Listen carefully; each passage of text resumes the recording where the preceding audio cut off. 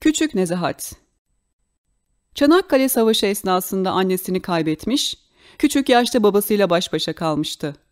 Babası Albay Hafız Halit Bey, cepheden cepheye koşmak zorundaydı. Kızını bırakacağı bir yakını yoktu. Tek çare yanına almaktı. O da öyle yaptı. İstanbul'un işgalinden sonra 70. alayla Anadolu'ya geçmiş ve burada milli kuvvetlere katılmıştı. Verilen her görevi canla başla yapıyordu. 9 yaşındaki kızı Nezahat babasının en büyük yardımcısıydı. Babasının birliği Gediz yakınlarında Yunan ordusunu gözetliyordu. Küçük Nezahat ata binmeyi buradaki askerlerden öğrenmişti. Nezahat babasının günlük işlerine de koşuyor, onun söküğünü dikiyor, postalını parlatıyor, yemeğini getiriyordu. 700 kişilik birliğin maskotu olmuştu. Herkes onu çok seviyordu. Gediz önlerinde Yunanlılarla savaş başlamıştı.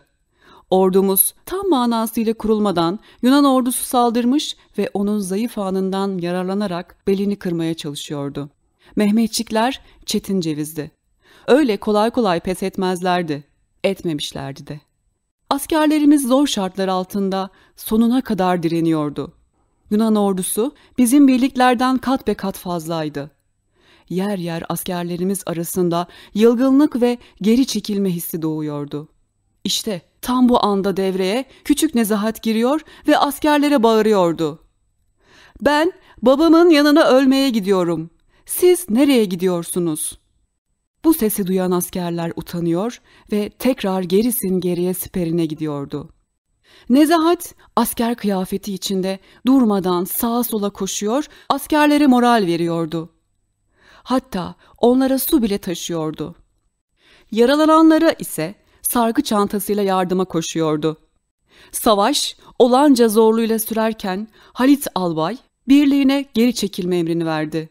Birliğinin daha fazla kayıp vermesine göz yumamazdı. Geride tekrar toparlanıp savaşa öyle devam edilecekti. Yunanlılar bir hayli kayıp vermişti. En önemlisi de Albay Halit Bey'in birliği Yunan ordusunun Anadolu içlerine ilerlemesini geciktirmişti. Bundan dolayı takdir topladı. Kızı Nezahat de onbaşı rütbesiyle onurlandırıldı. Savaş sonrası cepheyi denetlemek için Mustafa Kemal Paşa gelmişti. Halit Albay'la görüşürken yanındaki küçük Nezahat'i görünce şaşırdı. Üzerinde haki asker elbisesi, kulağında küpeyle küçük bir kız onu selamlıyordu. Kemal Paşa da bu küçük askeri selamladı ve yanına çağırarak onun başını okşadı. İsmin nedir senin asker?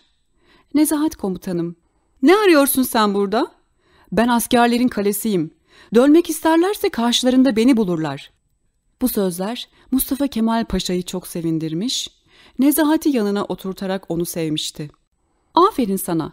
İşte Türk kızı böyle olur. Bizlerin amacı da vatanımızı kurtararak, daha iyi ve yaşanır bir hale getirerek sizlerin mutlu olmasını sağlamaktır. Haydi, göreyim sizi, diyerek yanından ayrılmıştı.